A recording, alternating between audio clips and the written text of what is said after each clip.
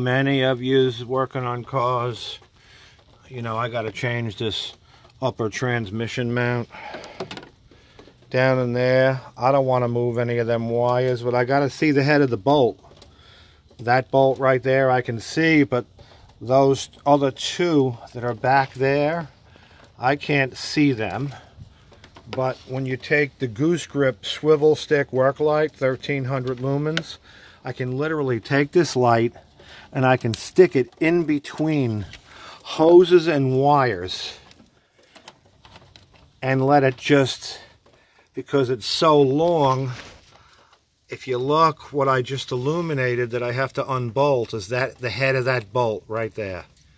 I didn't have to move anything out of my way and I can come in from the side now with my air ratchet and get it out. Goose grip, swivel stick, 149 bucks plus shipping. Lifetime warranty, stainless steel, 99 pound strength magnet, 6061 aluminum retainer, polyurethane resin sealed lens, IP68 waterproof, and it's running off of a uh, an M12 battery. Okay, that's in a 3D printed battery housing. If you're a professional mechanic, um, this is a no-brainer. I mean, the flip lights, I have them all in the truck. I can't get down in there with that. Uh, this is so thin and stealthy. It looks ugly because I bent it the other day. But it doesn't matter because I manufacture them. I can change them. Uh, but uh,